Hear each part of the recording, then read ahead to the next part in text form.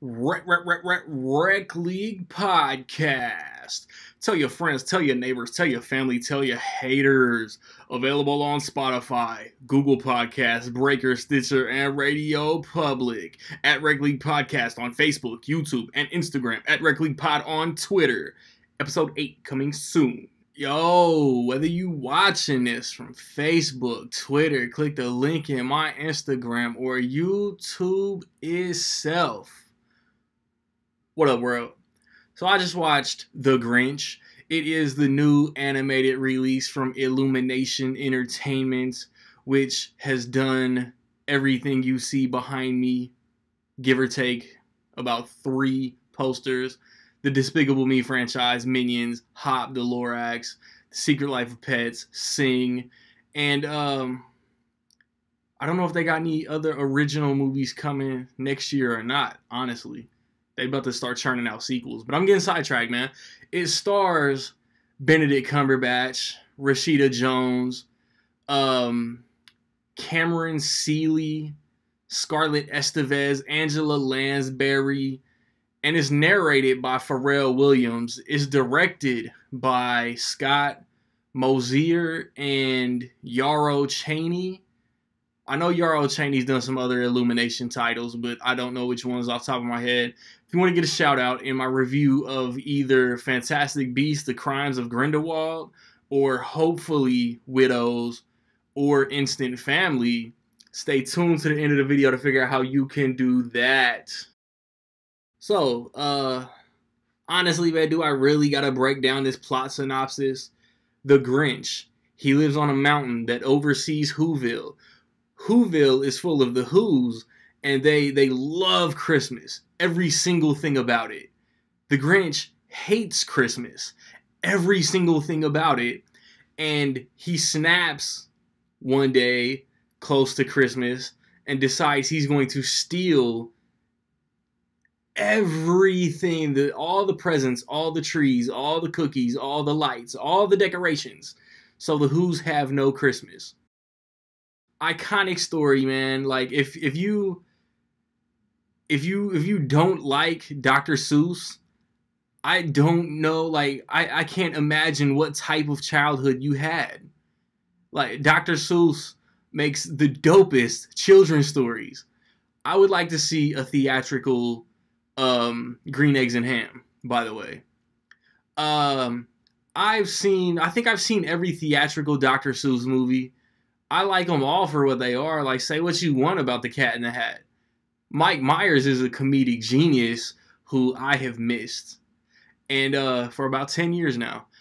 But um, this movie, man, like it's Illumination. Illumination has a very distinctive look to the way that they put their characters and movies together, and this movie looks beautiful, man.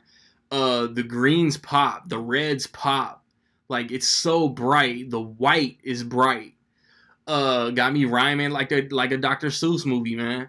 Um, it's funny. Like Benedict Cumberbatch is low key perfect as the Grinch. At times he sounds like Bill Hader, but he's great. He gave me quite a few laughs. Um, like it's the second theatrical Grinch movie, so I can't help but compare it to the Ron Howard Jim Carrey movie and I got to give that one a point for narration because I'll take Anthony Hopkins' narration over Pharrell seven out of seven days out of the week. There was just something about Pharrell's narration that I just wasn't a big fan of. The Ron Howard one adds the Grinch's backstory as far as he was picked on and bullied in school. The girl he liked ended up with the mayor, blah, blah, blah. The mayor's a douchebag, blah, blah, blah. This one adds backstory for the Grinch. It's different. I actually like his backstory in this one better. There's there's more like Cindy Lou Who going on that I kind of like a little more in this one. Like like Cindy Lou Who was funny in this one, and what she wants for Christmas is really cool. But like at the same time, both movies kind of have that like added story. You know what I'm saying? Because like the TV special back in what the 60s was only like 35, 45 minutes long. So to get a feature length theatrical movie, you have to expand character and and plot and and and different things. You have to add things that Dr. Seuss didn't write, and like that in both movies that takes me out of it. Not because it's bad, not because I dislike it. It's just new. It's just different. Um, I enjoyed this movie. It hit me in the feels toward the end, like real hard. Like its message about what Christmas is is very dope. Like I want to say it, but it could be considered a spoiler. But at the same time, like this is what a 50 year old story. Everybody's seen The Grinch Who Stole Christmas, read, you know, in some way, shape, form, or fashion, knows this story.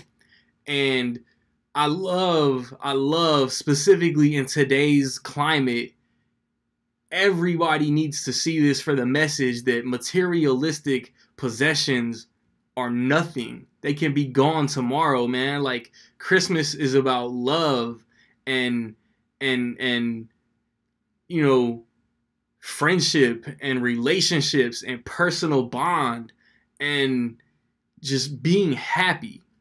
And um and like there there's Christmas music in here and it's it's dope. The songs they use, the Christmas related songs that they use are very dope. Um there's one scene where he's getting ambushed by like this mob of, of holiday carolers. It's pretty funny. Um and then what the Grinch like the Grinch like had an epiphany about his cause, his whole fight that led to the movie, and that's what started getting me in my feels, man.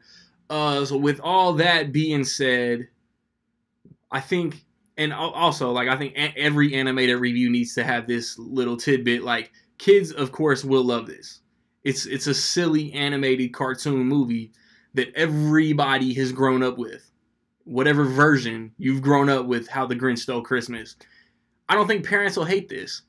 I, I don't know if my boy was trolling me, but he said that this was like being reviewed as one of Illumination's weakest movies. Not in my opinion, man. With, with all that being said, in my opinion, I will say that The Grinch is almost dope. Have you seen The Grinch? What did you think about it, man? Positive, negative, somewhere in between. Let me know.